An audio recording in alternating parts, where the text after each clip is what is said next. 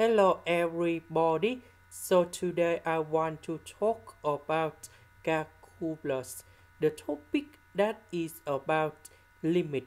So now I want to show you how to answer.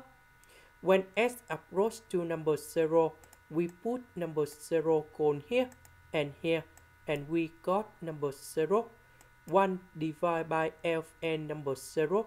We know that ln approach uh, approach to number 0 when we have ln. This one you got negative infinity. Number 1 divided by negative infinity. You got number 0 and this one equals to number 0. This is the end. Thank you for watching.